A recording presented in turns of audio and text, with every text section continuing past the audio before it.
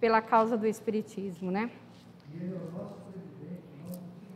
E ele é o nosso presidente, o nosso timoneiro, isso mesmo. Bom, hoje me coube aqui, vou colocar os livros aqui. É, estudarmos, meus irmãos, um pouquinho mais sobre o capítulo 23, Estranha Moral. E eu me coloco aqui nessa condição de estudante, porque é nessa condição que a gente está eternos, que nós somos eternos estudantes, né? Então, o conhecimento ele só se expande, ele não está pronto e acabado, né? E nós estamos aqui nessa condição de aprendentes, né? Então, aqui eu trouxe esse estudo para nós hoje. Confesso que é um é um capítulo desafiador, né? E eu peço licença para vocês, então, que eu não trouxe slide, justamente pelo fato de eu ter que ficar virando o pessoal de casa. Às vezes eu fico de costa para o vídeo. Né? Eu falei, não vou trazer slide. Já tem duas palestras que eu não trago para a gente ficar aqui nos livros né? e sem ter que ficar de costa para o público. E eu peço licença, então, para começar, tá? lendo aqui o, a passagem evangélica. Esse capítulo, então, ele se intitula Estranha Moral. Quem não odiar seu pai e sua mãe? Vasta multidão caminhava junto a Jesus, quando ele, voltando-se, ensinou-lhes: Se alguém vier a mim e não odiar seu pai e sua mãe, sua esposa e seus filhos, suas irmãs e irmãos, inclusive sua própria vida, não pode ser meu discípulo. E todo aquele, e todo aquele que não carregue sua cruz e não me siga, não pode ser meu discípulo. Assim, todo aquele que dentre vós não renunciar a tudo o que possui, não pode ser meu discípulo. Essa passagem, meus irmãos, eles têm, têm três passagens né, da Bíblia. Esse está em Lucas 14, 25, 27. E aí nós temos outra: abandonar pai e mãe. Então Pedro lhe perguntou: Quanto a nós, vede que tudo abandonamos e vos seguimos. Jesus lhe esclareceu. Em verdade vos digo que ninguém deixará pelo reino de Deus, ou sua casa, ou seu pai e sua mãe, ou suas irmãs, ou sua esposa, ou seus filhos, que não receba já neste mundo, muito mais, e no século vindouro, a vida eterna. Lucas 18, 28. E eu vou me. Eu vou me restringir a esses dois, ok? Então, Kardec começa esse capítulo nos esclarecendo um pouco sobre é, essa palavra odiar, né? Porque é tudo contrário aos ensinamentos de Jesus. Honrava seu pai, honrava vossa mãe, honrava seu pai, honrava sua mãe. Então, assim, é, Kardec, naquele momento, ele. Kardec, naquele momento, ele é, passou, né, pediu para um estudioso de grego, para que ele pudesse né, falar a tradução real dessa, dessa palavra, mesmo porque quando a gente vai, quando a gente retoma esses contextos históricos, nós precisamos voltar lá no passado. Porque uma palavra que tinha uma acepção, um significado naquele momento, não é a mesma palavra de hoje, né? As coisas mudam. E esse, essa palavra em si essa palavra em si, ela tem né, um outro significado no contexto na época de Jesus. Né? E ele até coloca uma nota de rodapé aí, amar menos. Mas não é nisso que a gente vai se ater, né? Não é nesses pormenores. Ser uma que ah, Jesus disse, Jesus não disse. Não.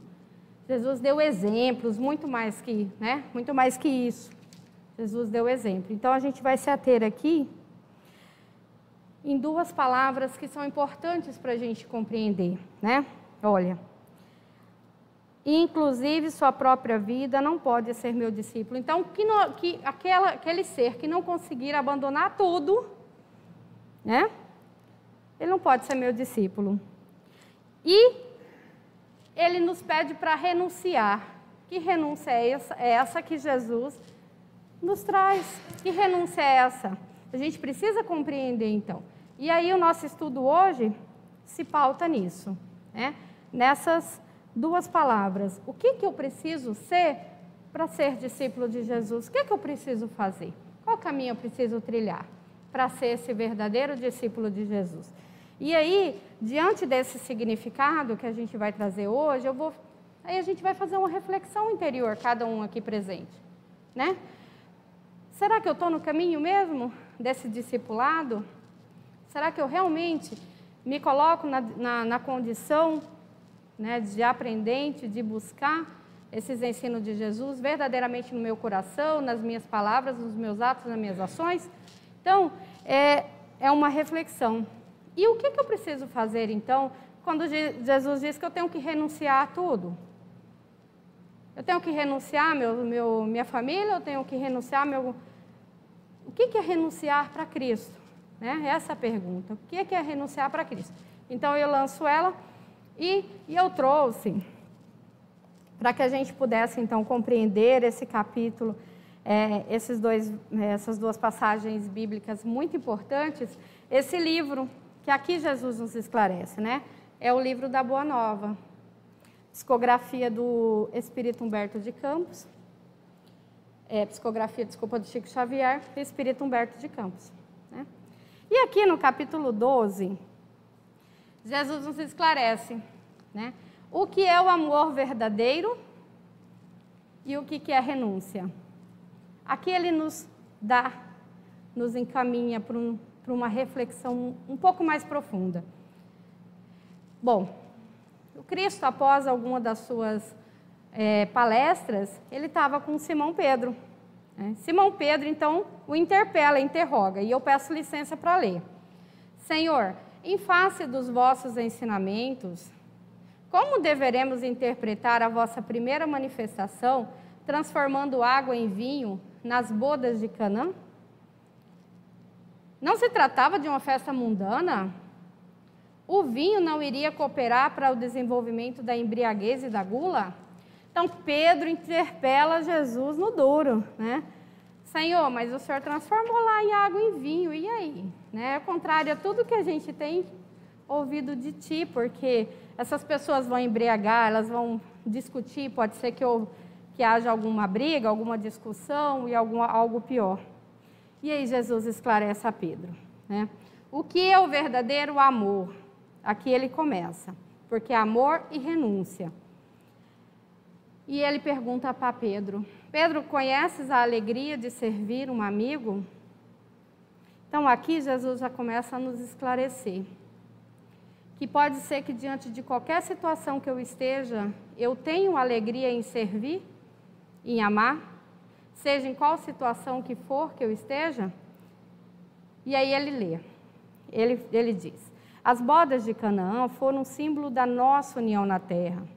O vinho ali foi o bem, o da alegria, com o desejo de selar a existência do reino de Deus nos corações.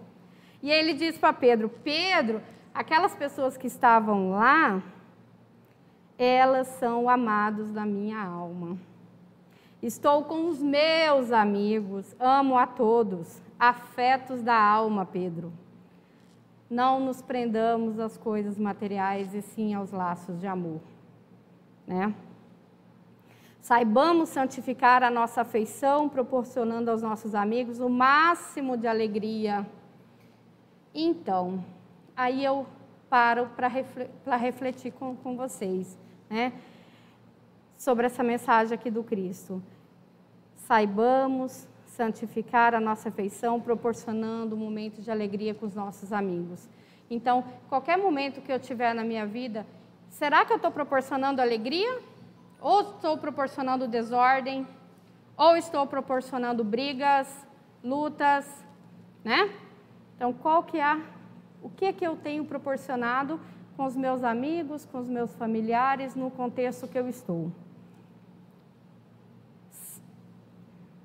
É, tenhamos sempre júbilos novos que os reconforte. Nunca contaminamos a fonte de sua simpatia com a sombra dos pesares. As mais belas horas da vida são as que empregamos em amá-los.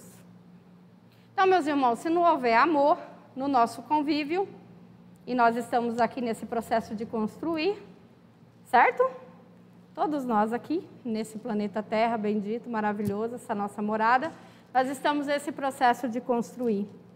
Mas isso é muito importante porque a gente já, já entenda que esses laços de amor precisam estar presentes em todos esses contextos, inclusive da nossa família, né?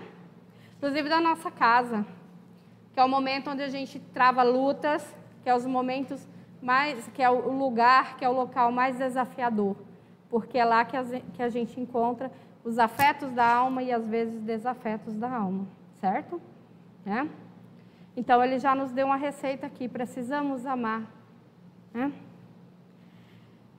E aí Pedro disse a ele, então tá, né? É fácil amar, né? Vamos lembrar lá da passagem lá do amar os vossos inimigos. É fácil amar quem nos ama. E os nossos inimigos? Mestre, o que, que eu faço com quem não gosta de mim e me, me, me, e, e me oferta a gratidão? A ingratidão. Né? E Jesus disse a ele: desprendimento. O amor verdadeiro e sincero nunca espera recompensas. Então, toda vez que eu dou o passo, né, que, eu, que, eu, que eu tenho essa ação de amar o meu próximo, né, e amar em toda a expansão que é a palavra amar. Porque amar é compreender, né? Amar é, é, é, todos os mínimos detalhes da vida, quanto os mais complexos, né? Então, assim, é muito difícil até a gente trazer aqui uma construção do que é amar. Eu acho que a gente, enquanto vai crescendo, evoluindo enquanto espíritos, nós vamos compreendendo o que é amar em nosso coração, nas nossas ações.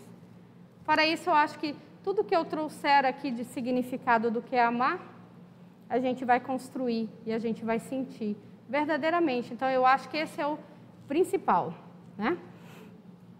Então ele diz: olha, não espera a recompensa, seja qual for a situação, ame, não espere. Quanto à luz do entendimento tardar no espírito daqueles que amamos, porque é isso, o contexto da nossa vida, nós estamos envoltos em pessoas que ainda têm conhecimento ou não têm quanto nós temos ou já tem muito mais que nós e nós estamos aqui mais atrás, não compreendemos é, o, o, o, nosso irmão. Então ele diz ó, que quando esse, essa luz desse entendimento tardar no espírito daqueles que amamos, deveremos lembrá-los de que temos a sagrada compreensão de Deus e que nos concede os propósitos mais puros. Eu não sou compreendido por você, mas eu sou compreendido por Deus. Né? e eu sei o quanto que Deus me ama. É isso que ele está querendo dizer. Né? E aí Jesus tá, passou, passou, então aqui ele trouxe, né, que nós devemos então, com alegria nos nossos corações, com amor nos nossos corações, servir onde quer que a gente esteja, sem julgamentos, né, sem julgamentos, porque, ah, ai, fulano ainda fuma, fulano ainda bebe, fulano, fulano é fulano, a vida é do fulano. O caminhar é do fulano, né? Então ele está dizendo assim: o que você fizer para proporcionar alegria no coração do teu próximo, para amar o teu próximo, para que ele se sinta feliz do seu lado, para que a sua simpatia, o seu amor irradie e abrace. É esse o propósito que Jesus nos trouxe aqui. Não decisão, não de exclusão. Passou-se algum tempo, né? E o mestre trouxe essa passagem hoje, bíblica, que eu li para vocês.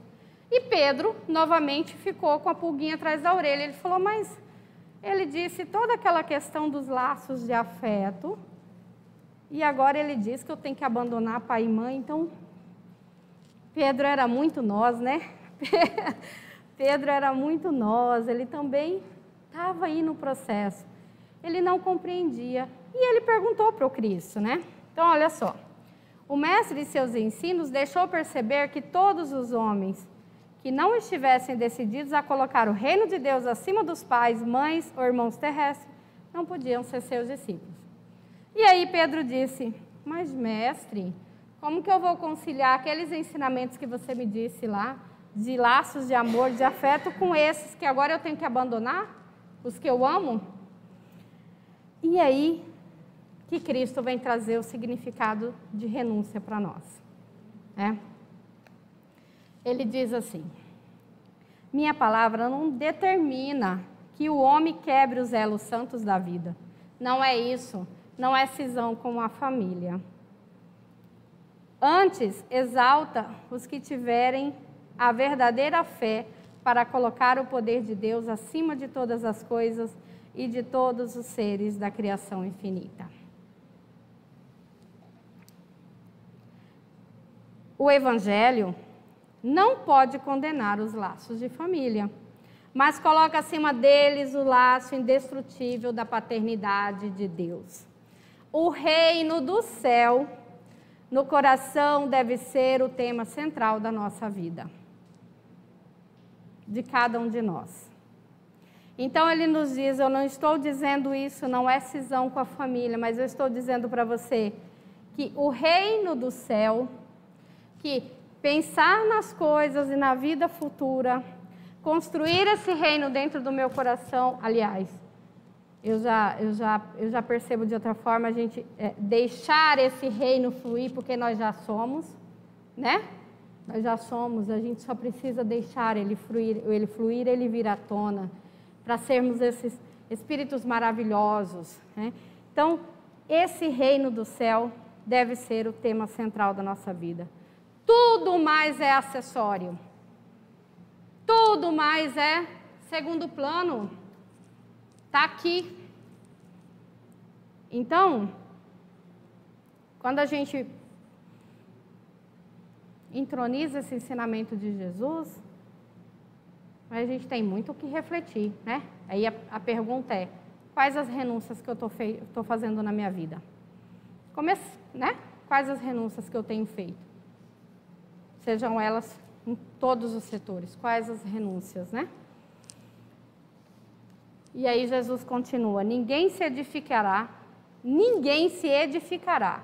Então, nós não caminharemos, nós não construiremos sem conhecer essa virtude de saber renunciar com alegria.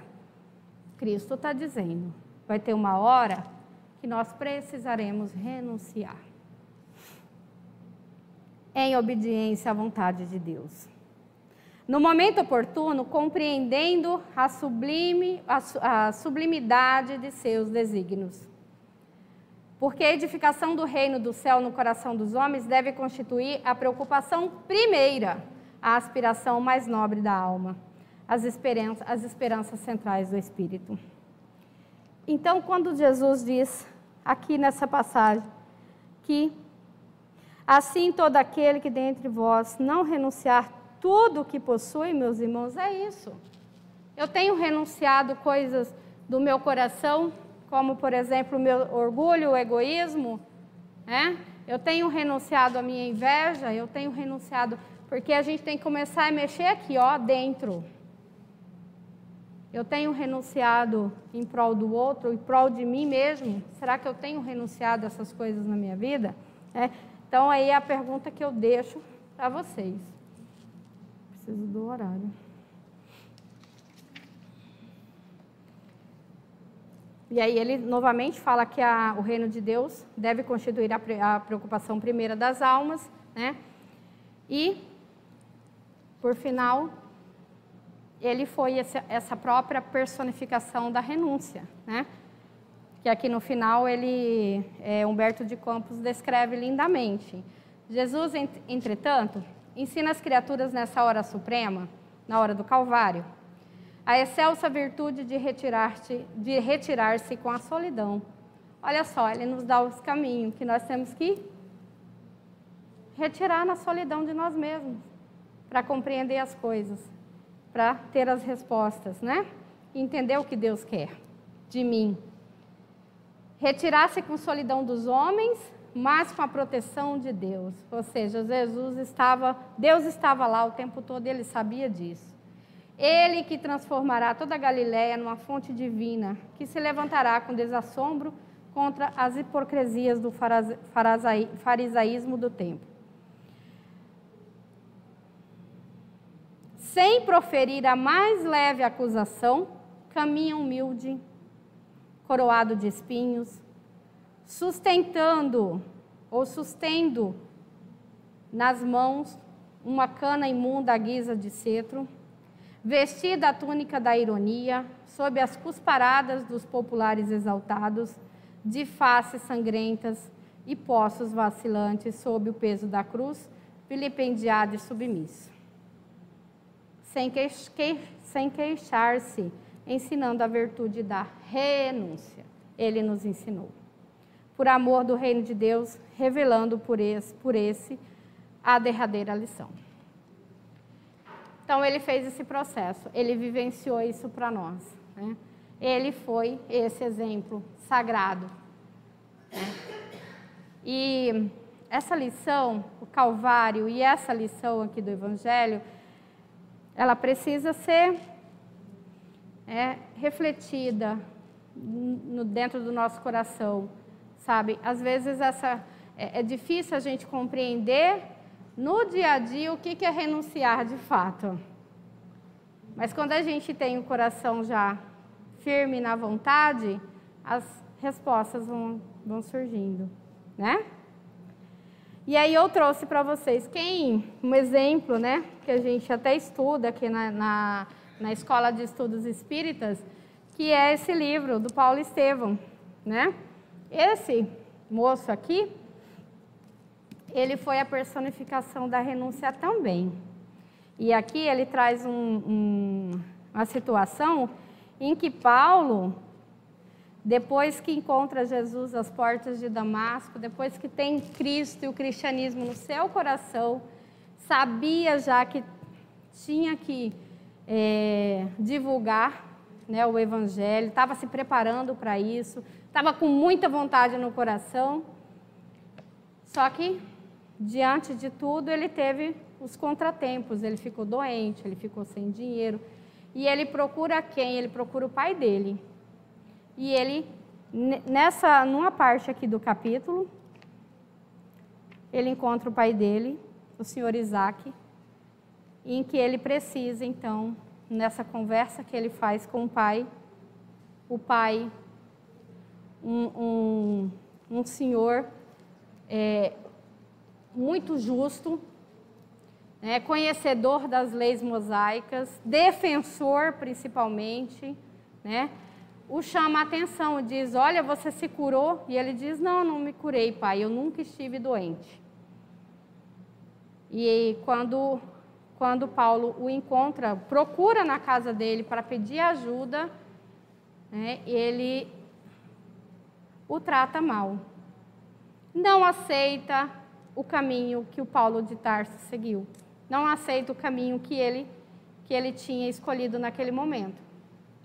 E aí trava aquela discussão, o próprio pai, o Paulo, ele fica quieto. E aqui, meus irmãos, fica bem claro esses laços de família. Porque ele diz assim, ó, Saulo podia enfrentar muitos homens armados, sem abdicar a coragem desassombrada que lhe assinalava as atitudes por dia verberar o procedimento condenável dos outros, ocupar a mais perigosa tribuna para o exame das hipocrisias humanas. Mas, diante daquele velhinho que não mais podia renovar a fé, e considerando a amplitude dos seus sagrados sentimentos paternais, não reagiu e começou a chorar. Então, aqui, o Paulo compreende os sagrados afetos da família, honrando seu pai, mas ao mesmo tempo ele diz o papai, né? Pai, eu vou. Esse é o caminho. Ele não tem dúvida, né? E ele se despede de toda aquela vida com uma certeza, né? A certeza firme no coração dele, porque Paulo é uma história riquíssima, para a gente compreender. Tem gente que fala aí de salto quântico, né? É esse. É esse. Paulo é, elevou a flecha dele para cima e ele foi, sem titubear, né? Com todas as com todas as consciências que ele tinha sobre ele mesmo. Ele não titubeou na fé dele, no propósito que ele tinha com Jesus, mesmo diante do paizinho dele, né, que era aquele ser que ele amava muito, que a mãe já tinha desencarnado nesse livro, né? Conta que por conta das, das perseguições a Saulo, que nesse período ele, ele ainda era, ela tinha desencarnado e só restava o pai e uma irmã, mas estava longe. E esse pai o trata assim. E disse a ele: escolhe a mim ou Nazareno. E ele teve que escolher. Então, esse é um exemplo de renúncia que eu trouxe. É, a gente tem vários. Mas, como eu disse a vocês, eu acredito que essa reflexão ela, que o Evangelho nos traz hoje, ela é muito mais profunda. Então, no sentido de perguntarmos o que nós estamos renunciando, né? Paulo é essa grandiosidade de exemplo. Mas aí eu trago para o meu, pro meu coraçãozinho e pergunto: o que eu tenho renunciado na minha vida? Né? Eu tenho renunciado em sentimentos, em emoções, em ações, em atos, seja para com minha família, seja no meu contexto de trabalho, seja na sociedade, né? E aí, ele disse também, e eu lembro, e eu disse a vocês que nós faríamos, então, assim, o caminho para entender é o que, que eu posso fazer então para ser discípulo de Jesus. É. E aí eu trouxe essa passagem belíssima aqui de, do livro Fonte Viva, ditado pelo Espírito de Emmanuel, também psicografia do Chico Xavier. Ele tem um capítulo escrito discípulos. E aqui, ele justamente pega essa passagem evangélica. E qualquer que não levar a sua cruz e não vier após mim, não pode ser meu discípulo. Então, pra, o que, que eu preciso fazer, né? Então, aí eu já questiono aqui. O que, que a gente precisa fazer? E olha só o que, que Emmanuel nos diz. A, cada, a vida da, de cada criatura consciente é um conjunto de deveres para consigo mesma, então cada um consigo mesmo, para com a família de corações, a qual está, né? Que se agrupam em torno do seu sentimento, e para com a humanidade inteira. Então são três passos para comigo, para com a minha família e para com a humanidade. Né? Então, deixo mais uma vez aqui. O que, que eu tenho feito em torno dessas ações? Né? Será que eu, eu acredito que a gente está mais assim, né? Nós, família, a humanidade, a gente ainda está. Que é muito. É, é, é, um, é um passo muito maior. Que às vezes a gente passa. A gente passa pela cidade e vê uma pessoa caída no chão, ou uma criança, e a nossa, a nossa indiferença né, é a sociedade, não é problema meu. E eu passo e eu vou embora. Então, essa humanidade que Emmanuel está dizendo aqui é todo esse infortúnio que existe ainda no planeta Terra. O que, que eu tenho feito de ação também para com essa humanidade? Espiritualmente e materialmente. Né? E por fim, Emmanuel traz aqui para encerrar. Então, ó, se buscamos a sublimação com Cristo, Ouçamos os sentimentos divinos. Para sermos discípulos dele é necessário nos disponhamos com firmeza a conduzir a, a cruz de nossos testemunhos de assimilação no bem, acompanhando-lhes o passo. Outros parecem, aparecem, aí ele diz: precisamos de dever e renovação então precisamos de livre-arbítrio, dever bem cumprido das leis divinas dentro do nosso coração. Nós temos o livre-arbítrio, nós escolhemos, né? Dever e renovação o tempo todo. Serviço e aprimoramento. O que nós temos feito em torno do serviço para comigo, para com a família, para com a humanidade? Ação e progresso. Responsabilidade e crescimento espiritual. aceitação dos impositivos do bem e obediência aos padrões do Senhor.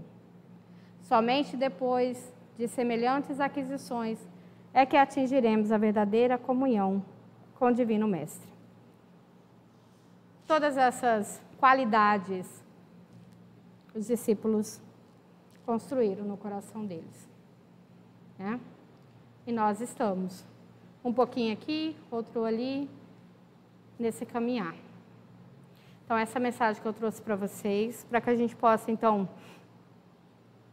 refletir sobre essa passagem lindíssima, desafiadora, né, que é Estranha Moral. Mas é, esse livro aqui ele é belíssimo. Eu acho que é um livro que a gente tem que ter de cabeceira, porque aqui é Jesus falando, meus irmãos. É, quando a gente lê isso aqui, como eu li pela primeira vez, as lágrimas desceu. Aí você lê novamente. Então, todo dia trazer Jesus para perto de ti. Leia.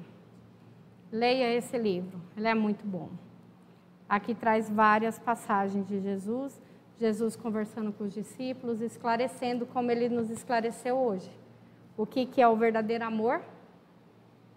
Que é aquele que não julga, que é aquele que ama a outra pessoa como ela é. É esse o nosso papel no mundo, né? Quando a gente vai esclarecer, esclarecer com consciência e com amor no coração, sem julgamento porque senão nós estamos fazendo um desserviço. O outro é o outro.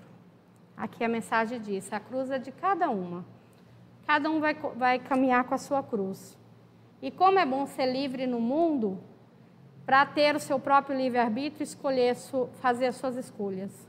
Cada um vai fazer as suas escolhas. Né?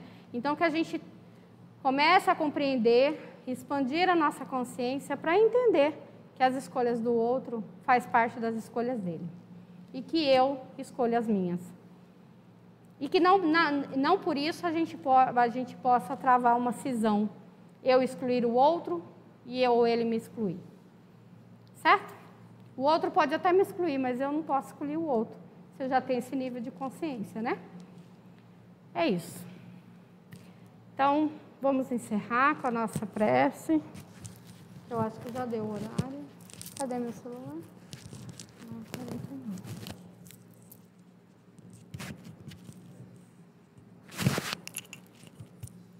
Vou fazer. É, a gente está fazendo o passe aqui, tá? Para quem está aqui hoje, vindo para prestigiar aqui o, o, nosso irmão, o Ademar, é, nós estamos realizando o passe aqui. Depois aqui temos que passar e tomar água fluidificada. Quem está fazendo o seu tratamento espiritual tem que trazer aí o, tá? Para eu assinar e tá tudo certo.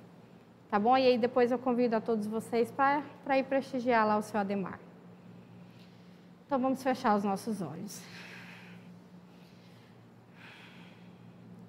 Elevar o nosso pensamento a Deus, trazer na nossa tela mental a imagem meiga do Mestre querido Jesus.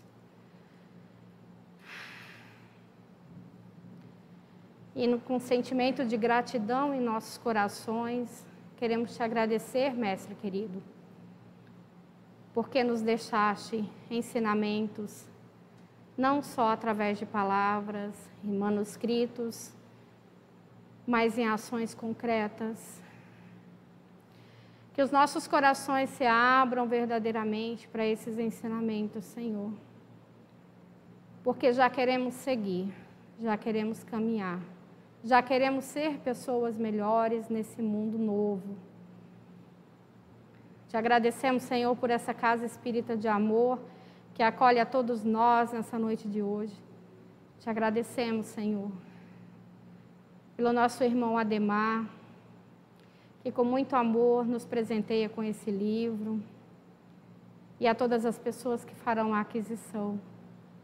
Te agradecemos, Senhor, pelos trabalhos que os nossos olhos materiais não puderam ver, mas que se estenderam a toda essa casa de amor, aos lares que precisaram estar. Te agradecemos pelos laços de amizade espiritual que temos, pelo amparo espiritual nessa noite de hoje. E que, de corações abertos, possamos receber o passe que cura, que magnetiza que transforma. Graças a Deus, graças te damos hoje e sempre. Permaneça conosco, Mestre querido Jesus. Que assim seja.